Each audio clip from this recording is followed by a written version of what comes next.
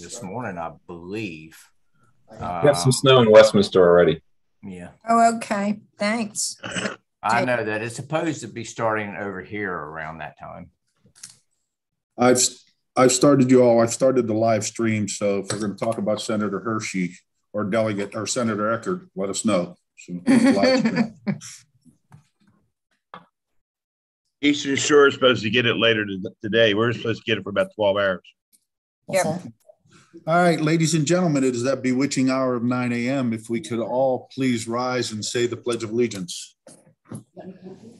Uh, yeah. Pledge of Allegiance to the flag, the United, Of the United States of America. and to the republic for which it which stands, stands. one nation, under God, Under God, indivisible, indivisible, with liberty and with justice for all. justice for all. Uh, Senator Carozza, could you please uh, lead us in prayer? Thank you. I'd be happy to. As we And- gather this, as I we was gather, just going to suggest everybody mute too. I'm sorry, Senator. okay. As we gather this morning to do our work together on behalf of the people of the Eastern Shore, let us say a special prayer for safety and protection from the incoming snowstorm. We especially ask for your protection of all our roads workers, frontline emergency and public safety and health personnel. For all of us, please bless us with your wisdom and understanding to know your will and courage and right judgment to carry it out. And in closing, we turn to Psalm 25, verse 4 and 5. Teach us your ways, O Lord. Make them known to us. Teach us, teach us to live according to your truth. For you are our God who saves us. We trust in you. And together we say, Amen. Amen. Well, thank you, Senator. Um, I need to start off with, uh, first of all, I'd like to get an approval for the minutes. I need a motion and a second. So moved. Second. All those in favor, say aye. Aye. Nice have it. Um, next, I think we got a special day here today. Um, for those of you that don't know this, it's all over Facebook, but uh, today is the great delegate Jay Jacobs' birthday. It's Oh, boy. Happy birthday. Where's the donut with the candle? Well, actually, yesterday his um, his legislative aide, who's wonderful, Joanne, made a tremendously good carrot cake that we all enjoyed. And uh, but Jay, would you like to say something on your birthday? I mean, this is not a milestone, but it's getting there. Well, you know, uh, Okay. I'm not as old as you, and I hope I never catch up Um, with you. First of all, and the carrot cake was wonderful. So, you know, um, it, it had three cups of Bugs Bunny carrots in it. it. Correct. Well, thank you. It was for real, and I really enjoyed it. And I enjoyed everyone that stopped by that got that had a slice. then maybe there should And, uh. My I, my phone is uh, lighting up this morning with well wishes, and I can't tell everybody how much I appreciate it. Even Well, Ken Fender, he, he's even wishing me a happy birthday this morning. Of course, of course, Kenny's wishing you a happy birthday. It's what he does. Um, One, one last time before we get started, please, if you're not, not on the phone, Dina, could you mute your phone? Not calling out any names here, but could you please, everyone, please mute? His daughter-in-law's real estate agent. Um, I've met the crazy Suzanne. okay. Thought I could have done that for. Okay, um, we'll get started here. Okay, first off, we have State Highway Administration and, um, well, I guess on my agenda, at least we have, uh, the world famous. The Reverend Davis. Starting off. It's like, did you, did you see who they rented it to? Kenny? Are you starting us?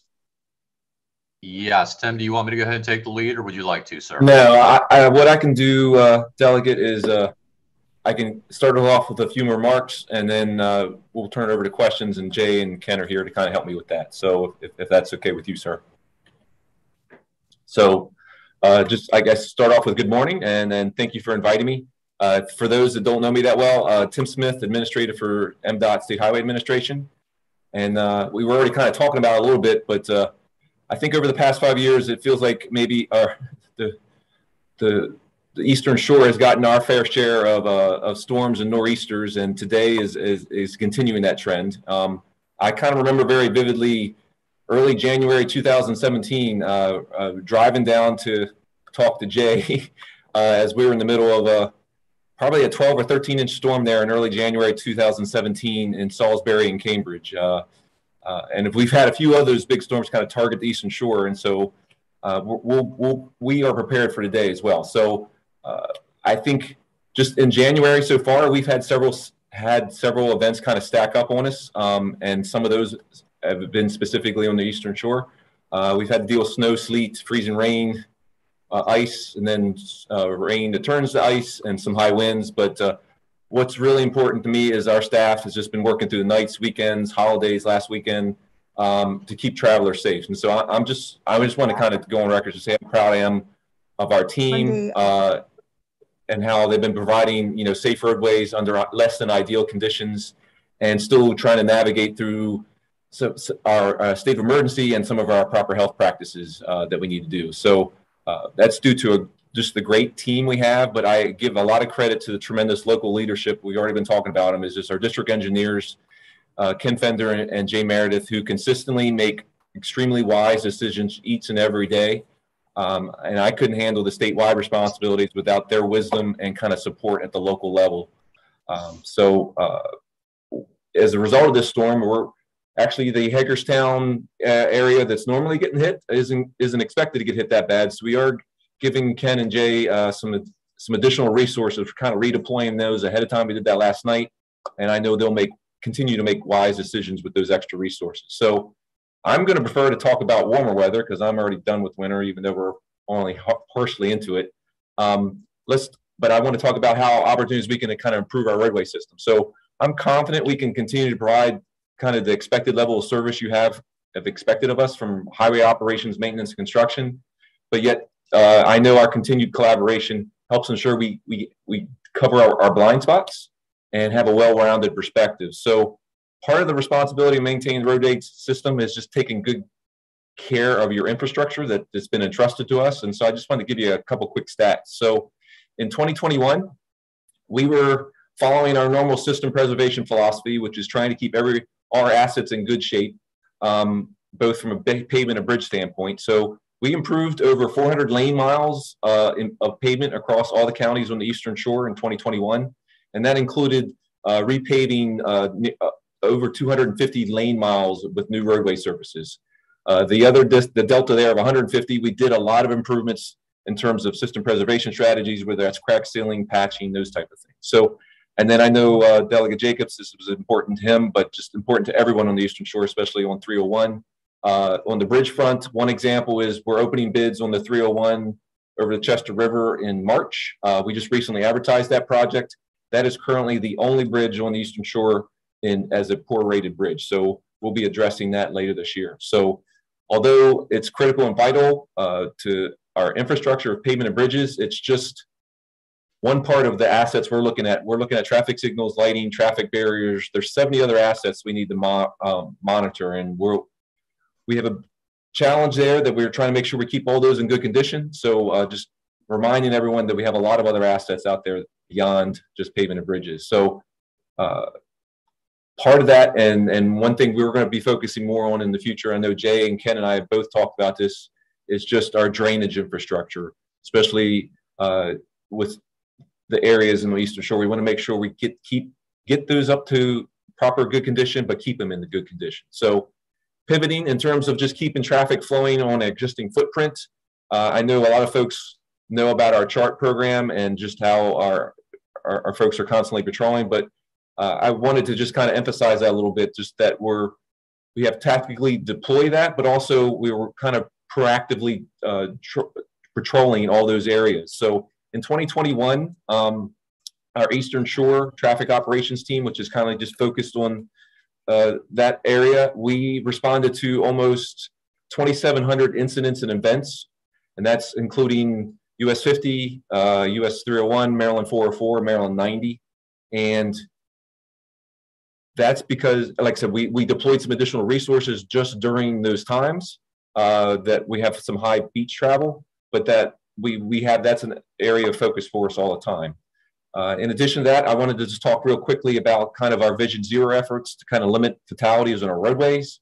Uh, we've made over 300 spot improvements across all our assets um, uh, over the past two years, kind of through that lens of the Vision Zero guide. And that's kind of started as a gra grassroots approach in I know Ken and Jay and the rest of the district engineers across the state, we've been talking about that. That's been mainly focused on improving existing pavement markings, improving signage, addressing uh, speed limits where it's appropriate, and, and making signal enhancements to help pedestrians and bicycles. A couple of good examples of that is just right there in Somerset County, we're, we're working on the next phase of the Maryland 413 shared use path. I know in Easton, uh, we, we, we were able to, to, to, to coordinate and facilitate a Rec and Trails grant for them for the Easton Rail Trail. Um, and then I know Jay is working on that US 50 at Buckton Road signal, which has some pedestrian improvements.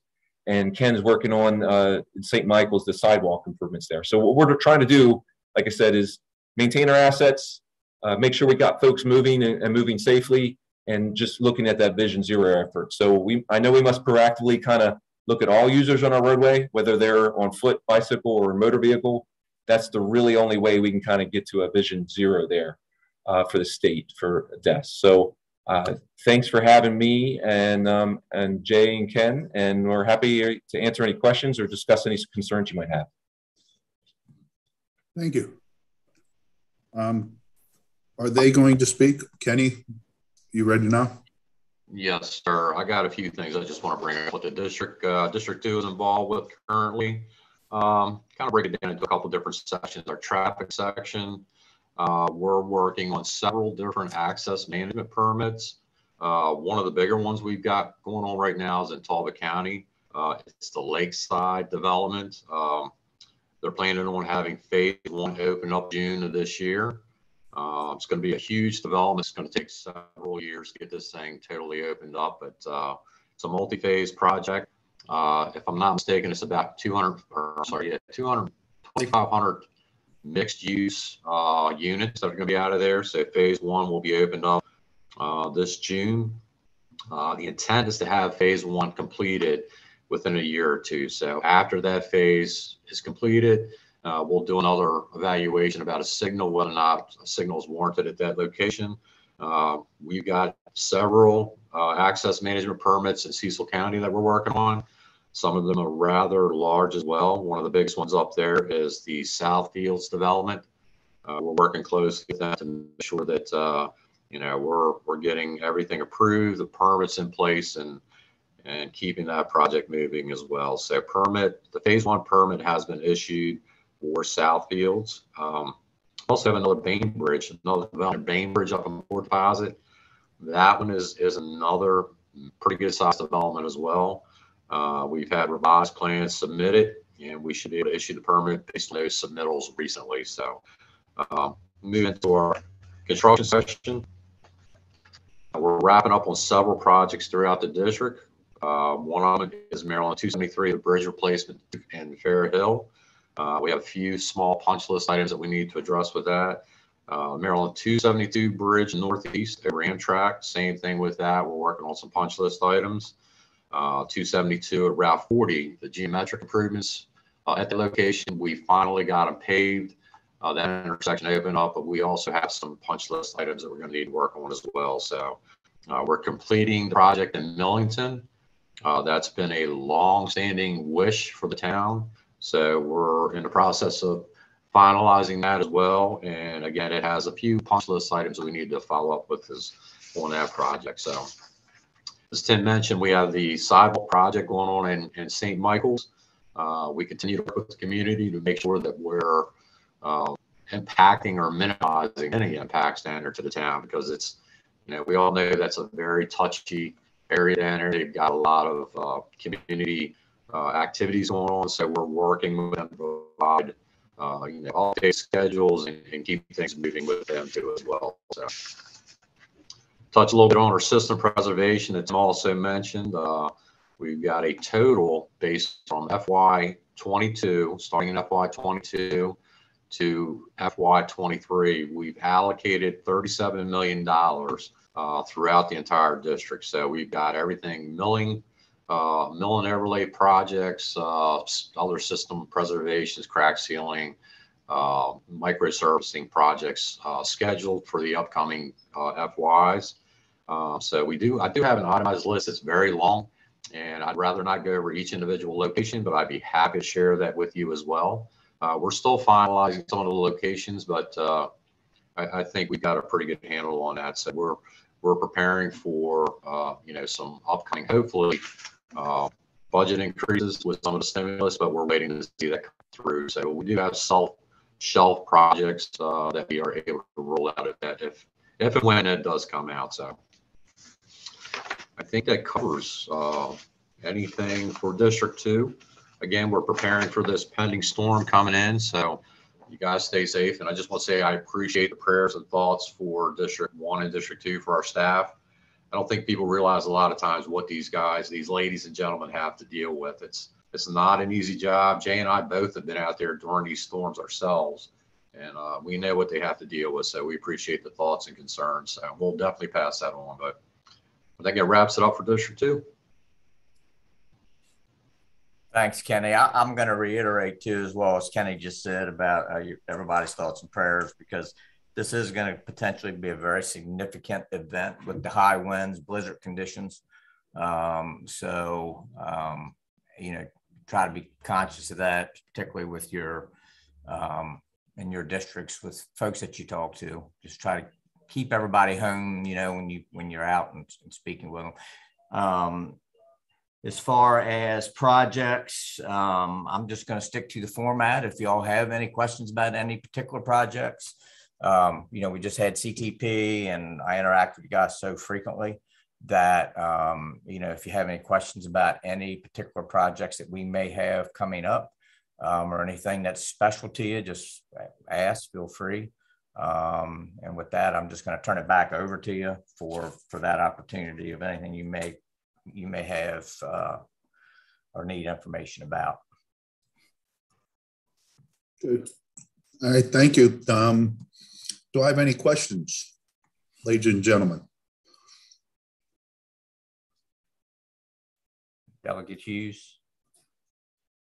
Okay. Actually, uh, delegate, yes, delegate Hughes, thank you. Good morning, everyone. And thank you, Mr. Chair. Uh, thank you, gentlemen, certainly uh, for your hard work. And uh, what I really am appreciative of is the proactiveness um, in making sure our roadways are in good working order, especially during this period of time.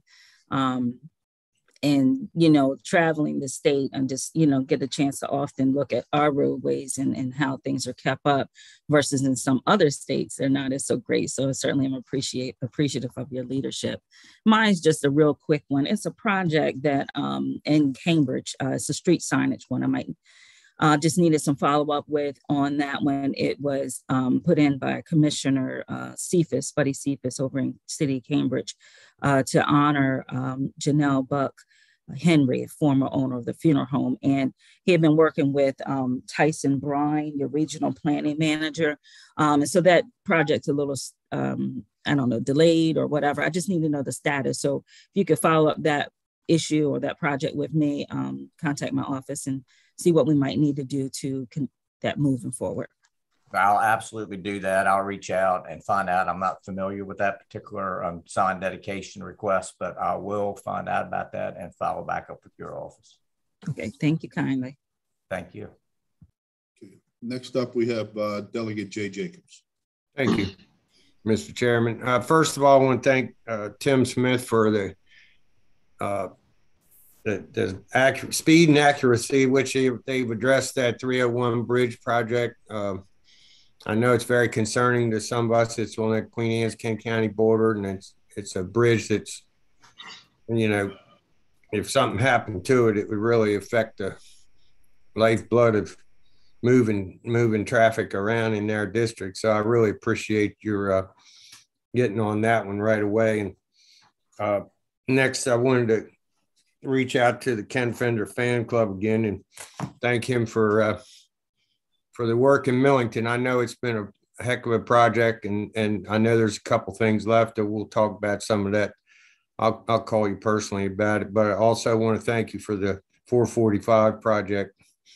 Um, finally getting that drainage issue fixed. I know that the commissioners were were making that sort of their priority, and uh, I was glad to get that done. I've heard some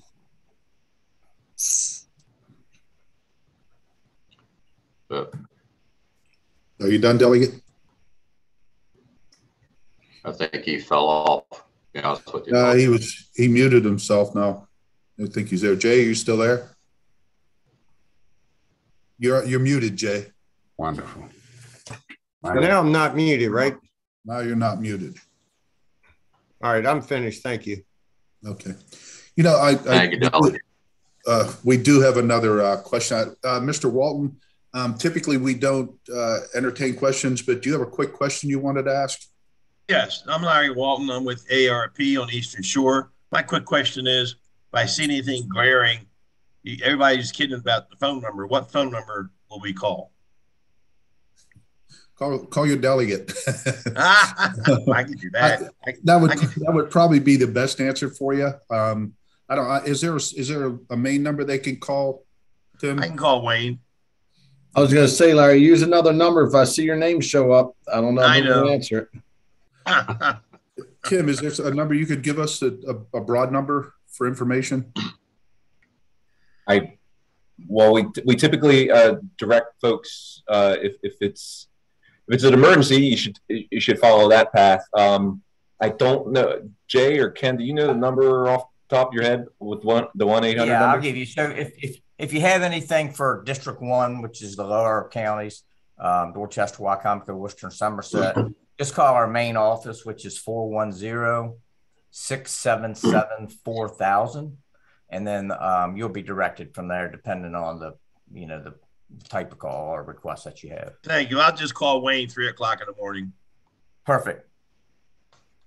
I, Thanks, I can also give. I can also give you a number as well if you like for District Two. If It's uh would. line that feeds into my office. Four one zero seven seven eight three zero six one. That's the line directly to the district office. And if you have any questions, just like Kay said, we can build the verge to whoever needs to provide an answer or update for you. Okay, thank you. I think, uh, we have Senator Eckardt. Thank you very much. Just adding my two cents. And for everybody on the call, those district offices are very responsive. Um, I've had just, you know, they're just responsive. That's all I can say. So don't hesitate to call them. Thank you. Thank I don't- I don't see other questions, but I just want to make a comment. I, I, Tim, I, I'm sure you'll appreciate this and, and, and, and Kenny, you and Jim. I, I think we get tremendous response in our districts. Uh, and I can't tell you how much we all appreciate it because I know when I have a constituent issue, I, I can get a hold of somebody quickly. I get some resolve on it. Um, we all know that sometimes questions are asked that the answers might take a little bit of time, but I, I can't say enough good about the guys that uh, respond to my office in particular, and I'm sure most of us would agree. I just want to, that's kudos for you all. That uh, that seems to be a love fest every time we meet with you. We're Yeah. very lucky, and thank you. Thank you for the work you do. Thank you. We appreciate the love of that, sir. Thank you. okay. Um, you know what? The good news is we're a couple minutes ahead of schedule. I got to get a haircut, so that makes my day a little better. Um, if we, A If we- haircut. Oh, That's okay. Uh, thanks, Delegate Senator. Okay, I guess moving right along, um, do we have uh, Mr. Doyle, William Doyle from the ports? Is he is he with us? Good morning. I think this is working. Sorry, we're down to one laptop for today, so it'll just be me passing it around, but I will pass it to MPA Executive Director.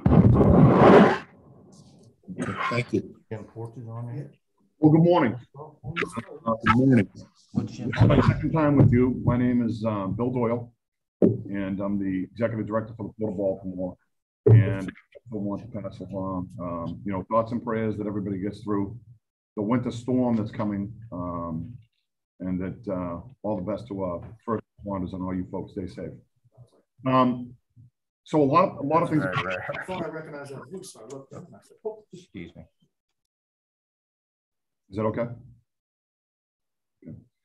Um, a lot of things has- have happened since last year, um, especially with relation to the Eastern Shore. Um, you know, Congressman Andy Harris, um, Senator Van Hollen, and Senator Cardin, um, and, you know, basically the entire congressional delegation really came through. And they were able to secure, uh, thirty-seven point five million dollars in the latest budget for Mid-Bay Islands, and then, um, you know, some extra, um, couple of million dollars for Slaughter Creek and Northeast River. And, um, you know, those things are, you know, to get those in the hopper and ready to go, uh, is very important. And I know they worked hard, the congressional delegation. So, um, for the Port of Baltimore and for the Eastern Shore and the Chesapeake Bay, this is a, this is a big development. It's important and, uh, we really do need it.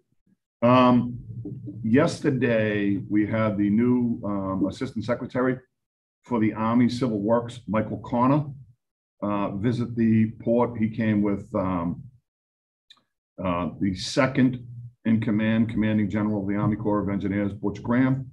He also came with the New York uh, Major General Tom Tickner. And we had Colonel Estee Pinchasin. She is our colonel here at the Baltimore district.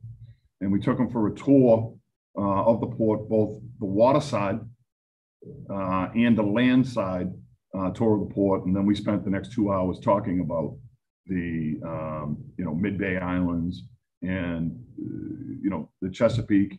And we also discussed the fact that, you know, now that Mid-Bay uh, is going to move forward and that the Northeast River and Slaughter Creek uh, are on the table, that um, there will be more requests for, you know, shallow draft type dredging uh, in the Chesapeake, uh, you know, Bay Bridge and below.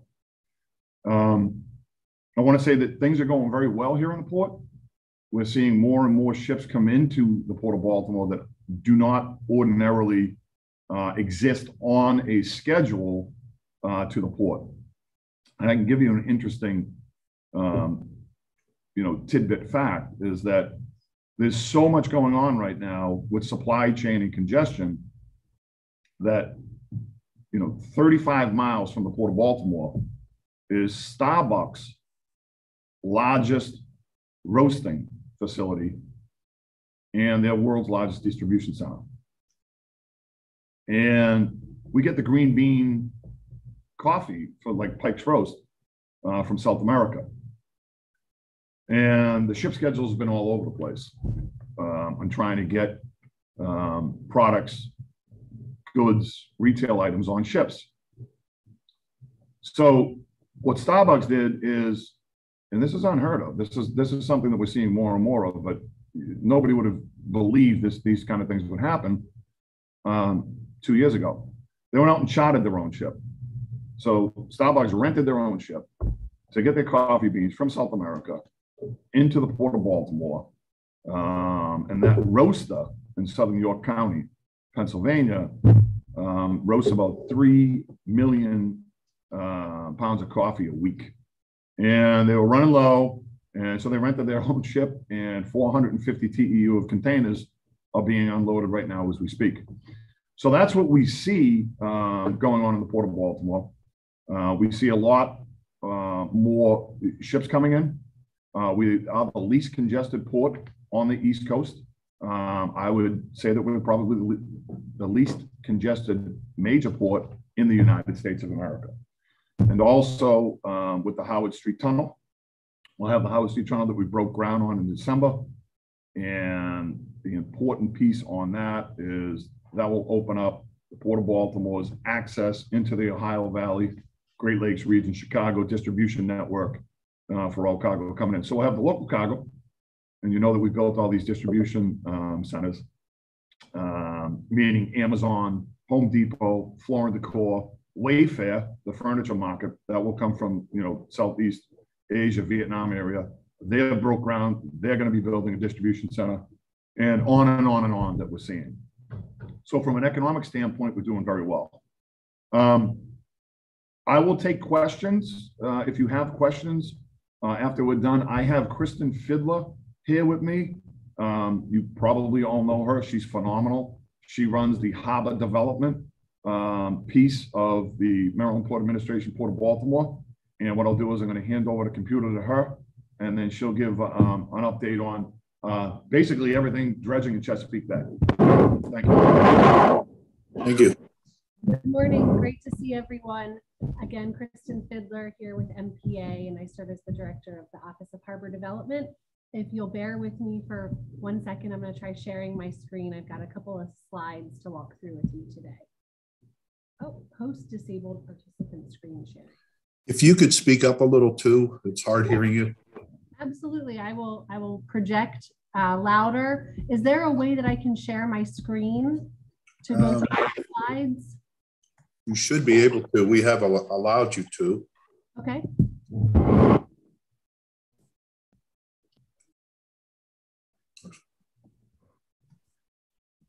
Mm, Could enable screen sharing if you haven't already. That seems to be what the disconnect is. I thought we had did that.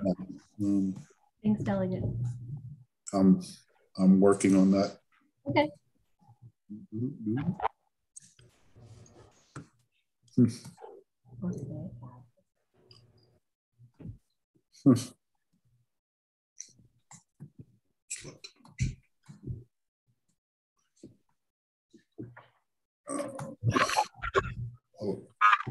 Okay, how about now?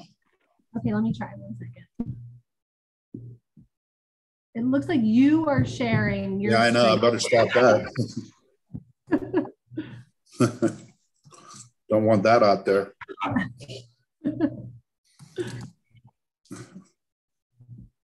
thought I just did that. I'm sorry. No, and I- I- thank you. I apologize.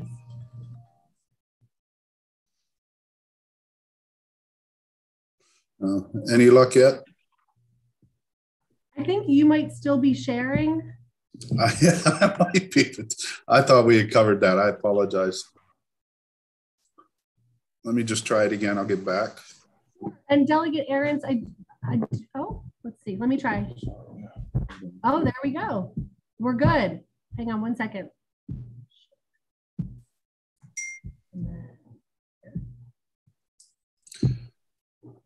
It's up. Okay, It's great. working.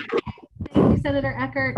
Um, okay, great. So we'll jump right in. Um, I thought I'd start this morning by providing just a little bit of context as to the importance of the Mid-Bay project to the overall Port of the Maryland Department of Transportation, Maryland Port Administration, or the MPA, is responsible for the waterborne commerce through the state of Maryland. So the overall success of the port in today's highly competitive trade environment is absolutely dependent on providing safe and reliable access for these ultra large vessels via deep and well maintained channels. We are so fortunate to have a 50 foot channel system leading to the Port of Baltimore, and it truly is our marine highway. As you all well know, we partner with the Army Corps of Engineers to perform the maintenance dredging of our marine highway through that regular uh, annual dredging cycle. Focusing just on the bay channel segments of our entire navigation channel system, I want to, to fe- feature just briefly a hugely successful example of the beneficial use of dredge material, and that is the Poplar Island Project, which I'm confident many of you have visited firsthand. And if you haven't yet or recently, we would welcome the chance to take you back out there to see this incredible world-class example of, of how to reuse this valuable resource that is dredge material. So again, Poplar is a collaborative project between MPA and the Army Corps of Engineers. It has been the main recipient of about 2 million cubic yards of material every year removed from the Bay Channel segments. Um, it has been that main recipient for the last 20 years and will continue to receive dredge material for about 10 more years. The project has used dredge material to rebuild what was a heavily eroded island. It had eroded down to less than 10 acres back in the 90s and has been restored to 1,715 acres of remote island habitat that is both diverse and thriving. It includes high and low marsh wetlands, uplands, and an open water habitat feature that all of which are now home to hundreds of species of wildlife and waterfowl, including the diamondback terrapin and the state listed endangered common terns. Um, just as a quick status update on the project, construction of the perimeter footprint of the expansion cells was completed just about a year ago, January of 21, and inflow of 2.2 million cubic yards from the Bay Channel segment of the channel system was inflowed into those expansion cells in April of 2021. That expansion portion provides an additional 28.9 million cubic yards of capacity and again allows that additional 10 years for Poplar Island before it reaches maximum capacity. Diverse wildlife habitat development continues and to date, there are eight wetland cells or 312 acres that have been developed.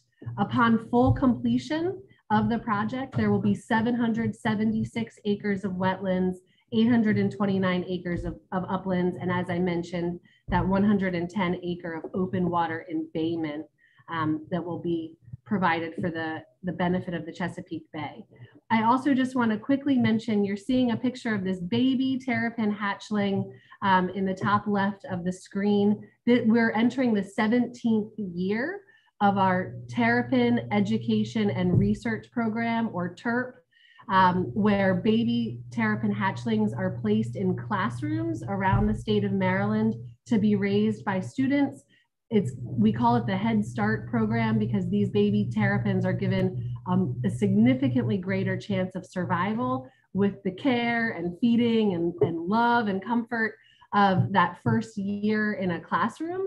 And then the students return to Poplar Island at the end of the school year and release the, the baby terrapins back out onto the beaches of Poplar, um, and they're able to participate in real life data collection and research. So over the last 16 years, 2,800 terrapins have received a head start at life um, from these students and 750 classrooms around Maryland have participated.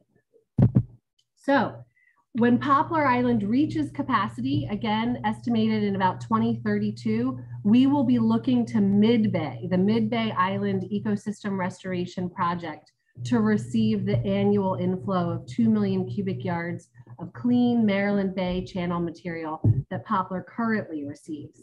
The absolute success, lessons learned, adaptive management, and the partnership between MPA and the Corps of Engineers will serve as our roadmap for delivering a successful mid-bay project. So just a couple of quick stats here on the slide. You can see that the mid-bay project is comprised of both Barren Island and James Island. It was authorized by Congress in 2014. It too is a cost shared project between MPA and the Corps. Um, it will provide 90 to 95 million cubic yards of total capacity so that is over 30 years, um, which is absolutely unheard of when you think about dredge material management solutions. That is a long-term sustainable opportunity that is just absolutely incredible. Um, and most importantly, and, and a point of great excitement and pride that is hot off the press is that through the Infrastructure Investment and Jobs Act that was released last week, the Army Corps of Engineers received $37.5 million to start construction of the Mid-Bay project this year. That is the first slug of money that was desperately needed on the federal side to keep this project moving forward, to keep it moving forward on time and on budget. So that is a huge hurdle that we have just cleared. So getting into a little bit more of the specifics of the project, Barren Island, which is the smaller piece and which will start the project, will start with Barren Island restoration. That includes the installation of sills and a breakwater to protect the currently existing island remnants and the SAV beds. SAV is subaquatic vegetation, really important seagrass for water quality and other um, aquatic ecosystem benefits for the Chesapeake Bay. And we will also restore 72 acres of remote island habitat through the restoration of wetlands.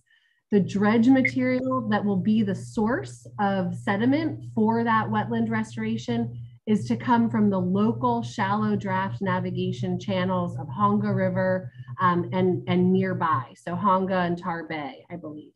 The James Island portion of the project is the, the massive sort of Poplar Island 2.0, and that is 2,072 acres of remote island habitat that will be restored. It will be a mix of wetlands and uplands. It'll be 55% wetlands, 45% upland habitat, and that will um, start construction, we anticipate in 2024. So I'll get into the, the timeline in a few slides. So just to give you a sense of the economic benefits of a massive construction project like Mid-Bay, the Mid-Bay project by itself will create 550 jobs in Maryland during the 30 plus year construction effort. It will generate three and a half billion dollars in economic activity.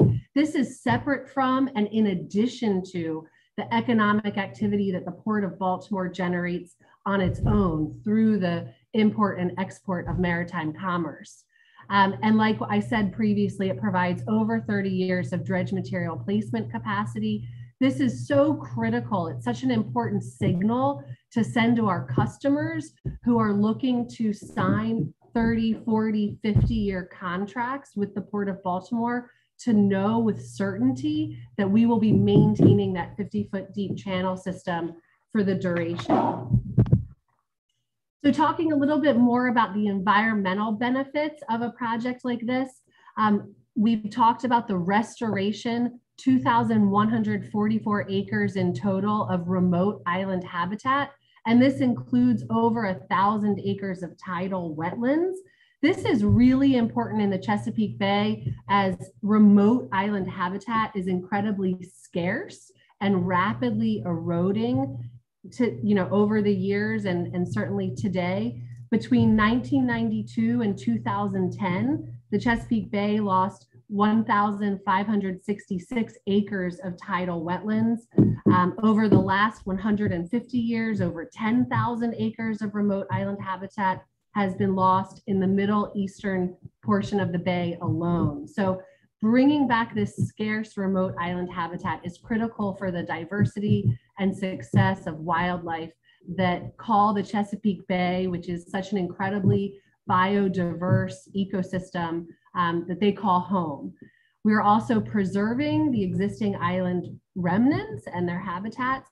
We're sustaining those existing seagrass beds at Barren Island. And again, that promotes conditions for additional seagrass beds to grow and thrive. We're enhancing that diverse wildlife habitat for avian and recreationally and commercially important fish species. So really important to the watermen and waterwomen who rely on the health of that bay um, and its species for their livelihood and significantly reducing erosion to local shorelines by decreasing wave heights and wave velocity. So we'll get into a little bit more of those specifics um, in a minute.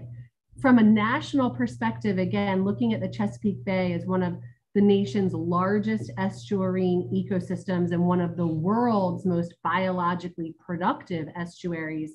Um, the Chesapeake Bay also serves as part of the national flyway for avian species um, and is just so critically important to so many different aquatic species.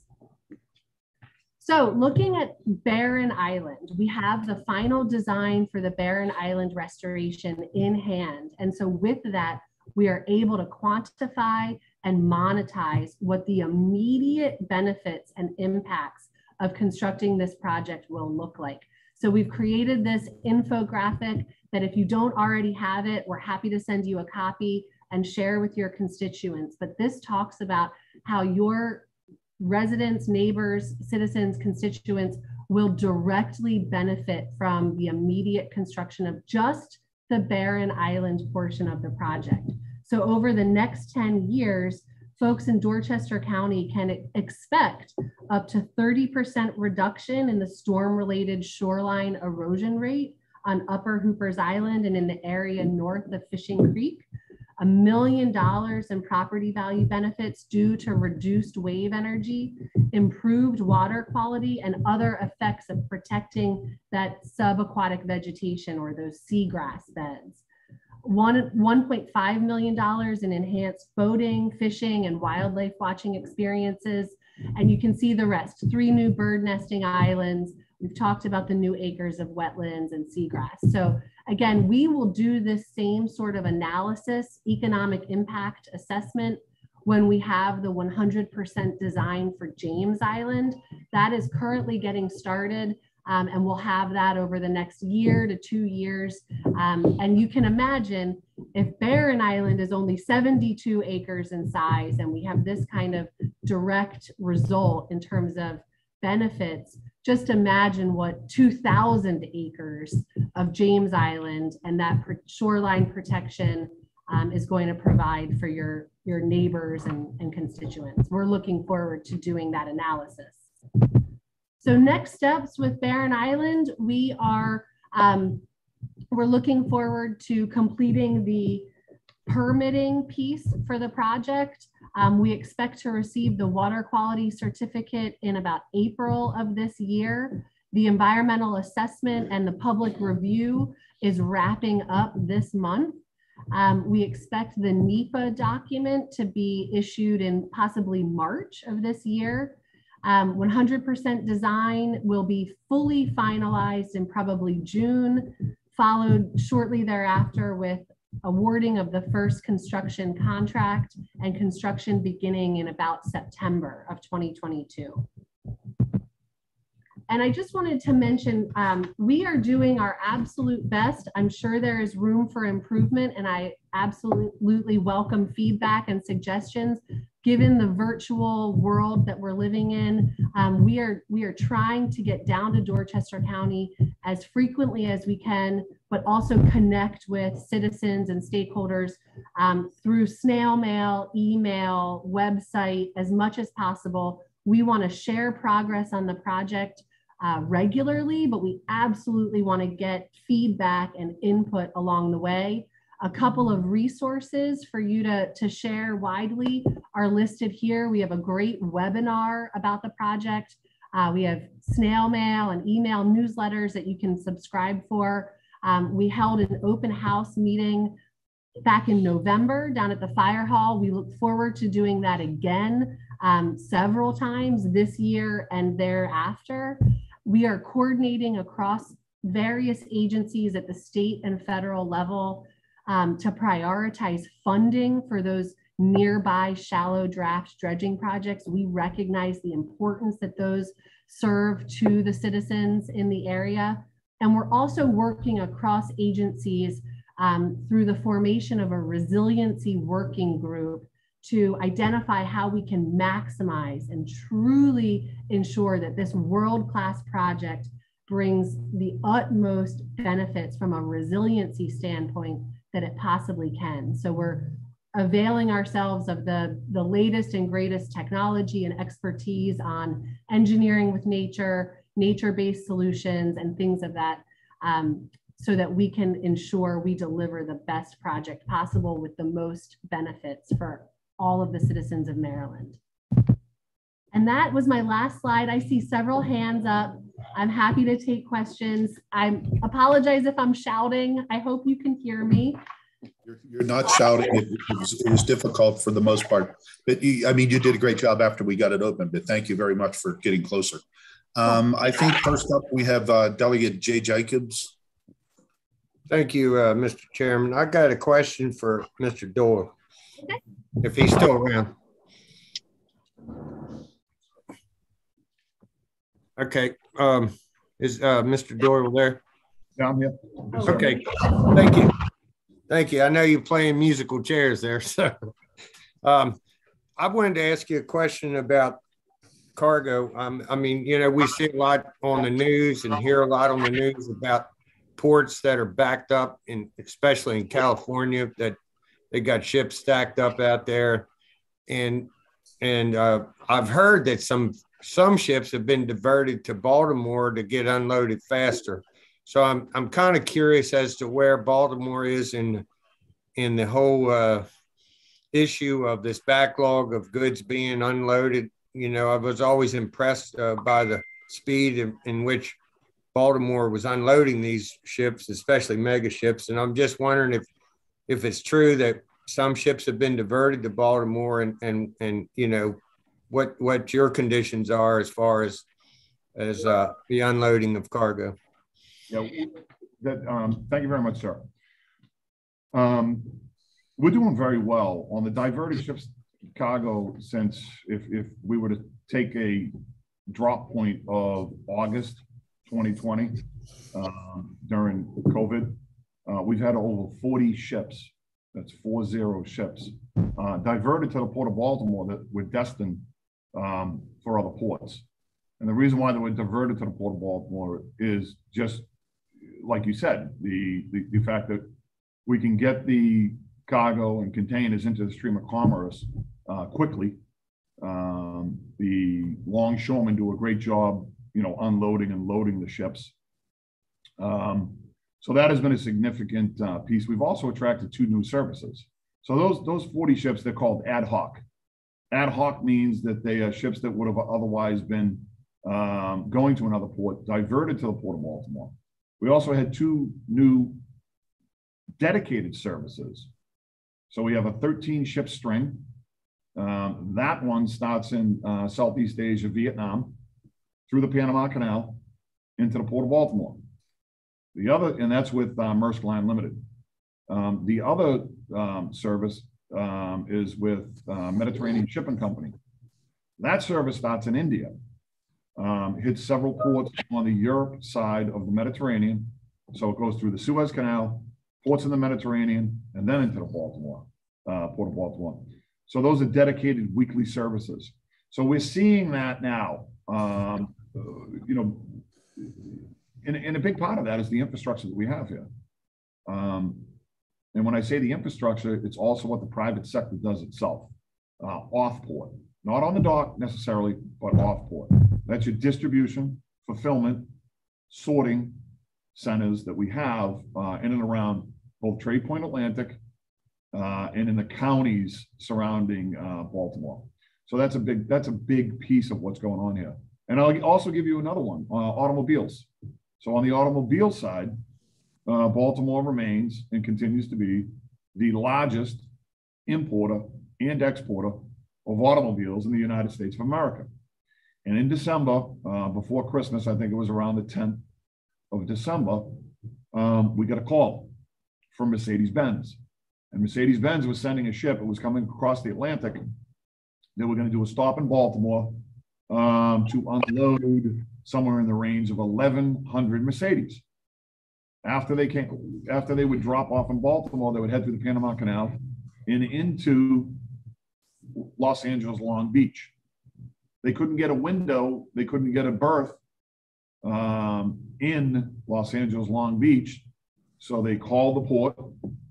Uh, we got a hold of Ports America Chesapeake and said, look, the, the ship that's coming over needs to drop an additional 600 Mercedes Benz in the Port of Baltimore. Uh, can we do it? Well, you know, in a situation like that, the answer is never no. Um, so um, you know, we said, yes, we can do it. Um, and then we called, you know, I, I got on the phone with the president of the uh, Longshoremen's Association, ILA uh, union, um, Scott Cowan, and said, you know, Scott, listen, we got we got the ship coming in, we got an additional 600. Um, no questions asked. A team's there Monday morning. We'll get it done in 24 hours. So um, the ship came in. We unloaded the 1600 Mercedes, 16, 1700 Mercedes. And, you know, timing is everything. And it just happened to be that we were, we were mid stroke negotiations with Mercedes Benz, um, asking them, negotiating with them to remain in the Port of Baltimore. Uh, and by the 30th of uh, December, three weeks later, um, we got a 20 year contract. So we got a 20 additional 20 year contract with Mercedes Benz. Um, they were looking around the country to see if they were going to, you know, perhaps put in another, um, what you call, um, you know, vehicle service center. And um, they like Baltimore. They like what we do here. They like our workforce, and they remain for another 20 years. So, um, you know, Delegate Jacobs, that's just a snapshot of what goes on. I mean, there's things going on here every day in the port. Um, and that's not even talking about the exports that we send out of here. Um, we don't necessarily export air, meaning nothing. Um, off the West Coast, there's a lot of empty containers and waste paper.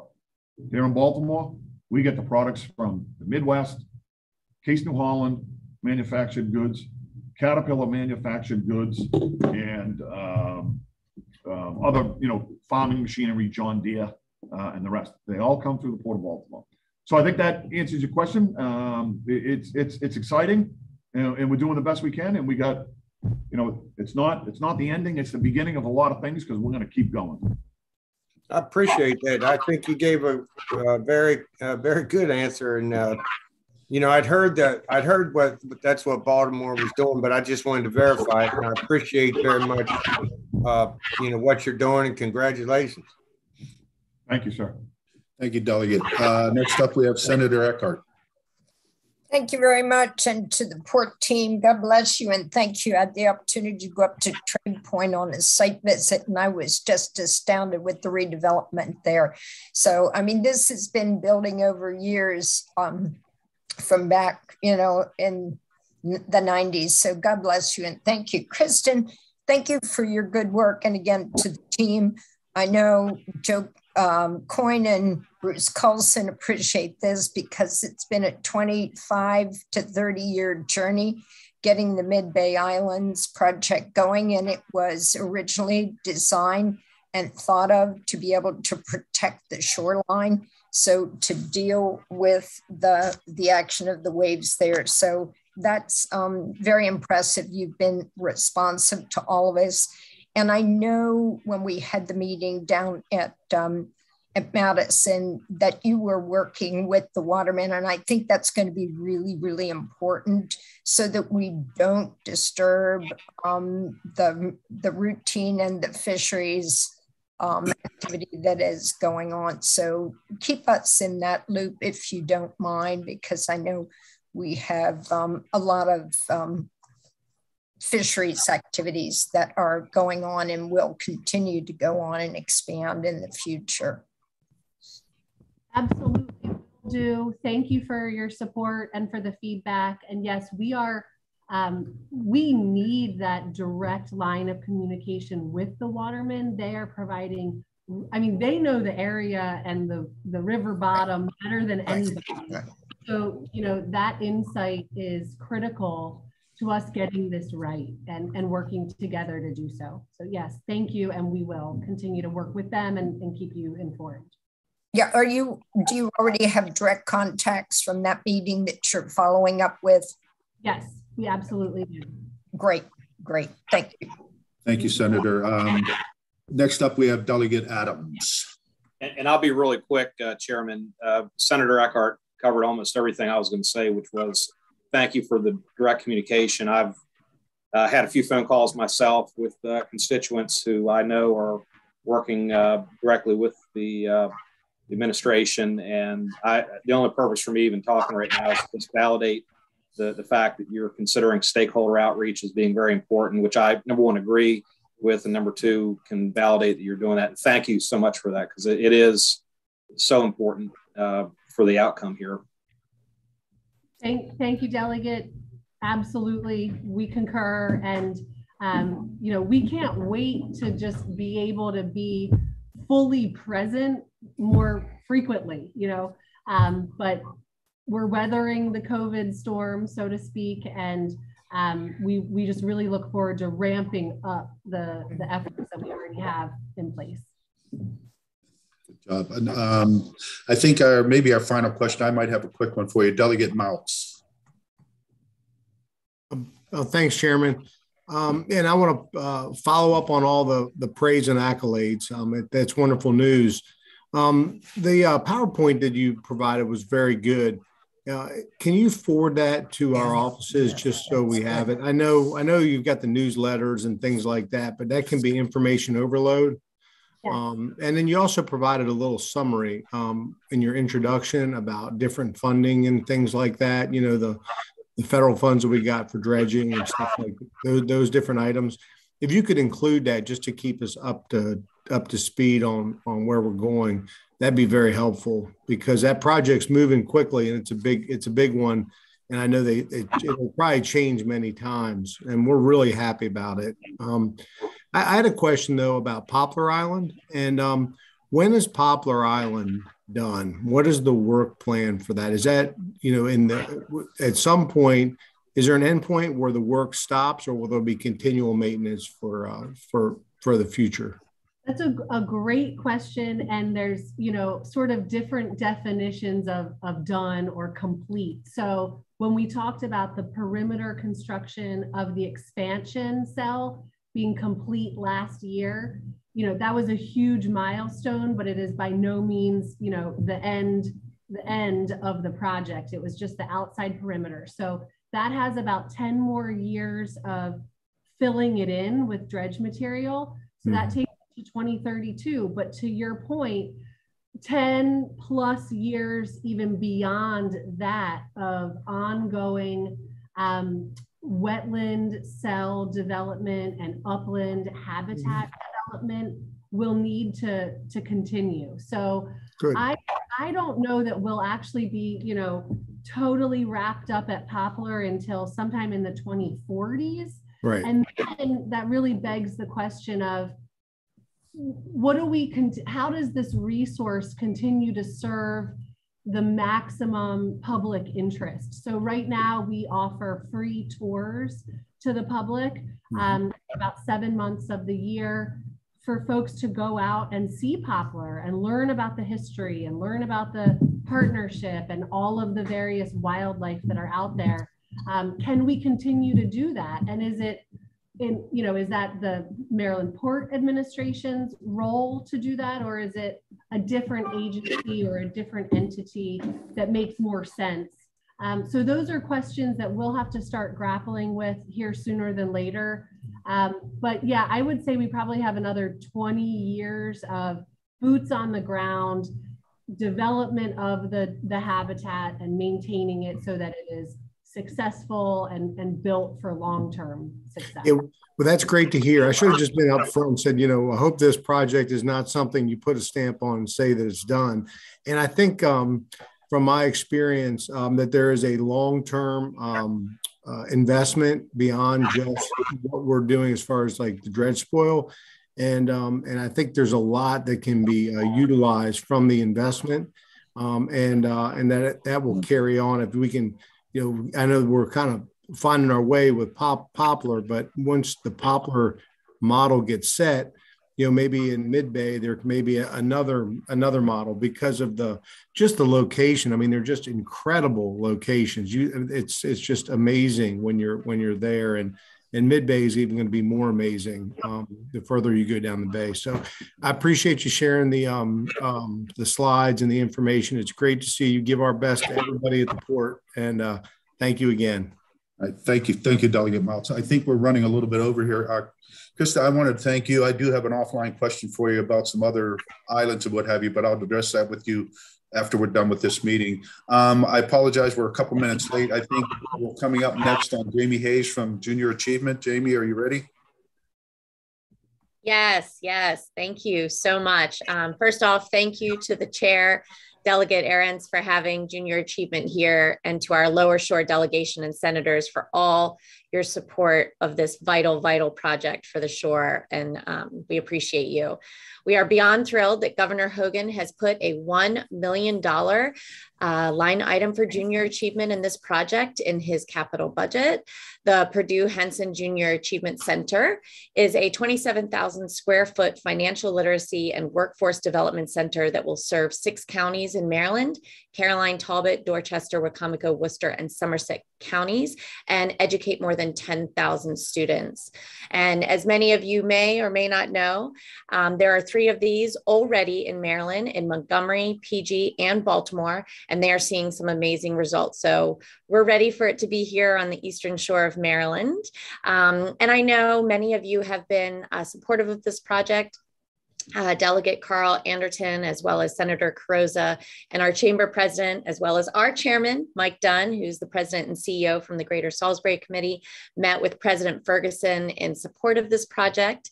Um, so thank you all very much. Uh, we do have many long-term supporters uh, for this project and for junior achievement programs um, including Kelly Schulz and the comptroller Peter Franchot. And I, I see many of uh, familiar faces from the Workforce Development Board to uh, some of our long-term donors and supporters of everything that we do. So uh, since we're short on time, I can't say hi to everyone, but we are asking for your support in the House and in the Senate to ensure that we can make this a reality. Um, I do have my chairman, Mike Dunn, president and CEO of the Greater Salisbury Committee on here. So both of us are available to answer any questions. I hope that was quick and concise for you. That was absolutely great, and I think we all we all do do do know and appreciate you and your achievement. We appreciate all you're doing. I don't see any questions, but I'm glad you could make the meeting. Um, any questions for Jamie? All right, Jamie, thank you very much, and thanks to all of us. And I was going to say, Kristen, if you could forward those slides to uh, my office, I'll distribute them to the delegation. That would save you a whole lot of different emails. Um, okay, uh, moving right along. Uh, how about our federal delegation? Any comments or updates? I'll go. Um, it's refreshing to hear the acknowledgement from the Maryland ports about the federal funding that has come down um, for that project. And as an aside, you know, the state, those that IIJA, the Infrastructure Investment Jobs Act, is bringing a lot of money to Maryland. It's going to your agencies. And as a direct result of individual outreach from Senator Cardin's office, um, my office did two webinars last week with nonprofits and the counties and municipalities about the congressionally directed spending request process. What we're hearing uh, and you're going to be seeing an uptick in phone calls from your constituents because they're going to want to be getting that IIJA funding that goes through your state agencies. So if they don't, if it's not a good project for congressionally directed spending requests, we're referring them to your offices so that you can lobby on behalf of them. Um, so if you have any questions, be sure to follow up with us. And uh, always, Mr. Chair, thank you for the opportunity to give an update. Thank you. Um, Good morning, my, Steve. It's Kimberly okay, from Senator okay. Cardin's office. I would reiterate what Melissa said regarding the congressionally directed spending. Um, we have had multiple meetings with constituents from across the shore. Um, so we're you know educating them on the FY23 process. Um, and I and also I would reiterate what she said about Mid Bay and the port um, hearing the uh, excitement about the federal funding coming down. So um, we're available as always. Reach out if you need anything. Okay, thank you. Chairman Arentz, this is uh, Mike. Um, the only thing I've got really is uh, many of you received uh, an email from me uh, day before yesterday, I believe, um, requesting uh, response to a survey regarding midshore issues. Um, so for those of you who did receive that, if you could please respond, that's going to be extremely helpful uh, to providing some information for ongoing efforts on the shore. Okay. Thank you. All right, thank you. Um, I guess this closes our meeting for the week. Um, make sure you all look at next week's schedule. We'll get that calendar out to you just as soon as possible. Do appreciate everybody's attendance and good luck with the rest of the weekend. Thank you very much.